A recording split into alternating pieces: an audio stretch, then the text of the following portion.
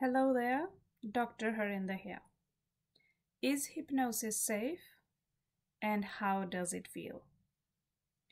Hypnosis is completely safe.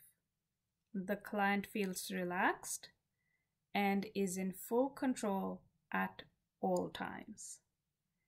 In this state of mind, our senses are withdrawn from the external world and focused on signals originating from within. It's the twilight state we enter only briefly as we wake up or drift off to sleep. When we are in a dream, deep meditation, accessing vivid imagery, intuition, and information we are unaware of during our normal alert state.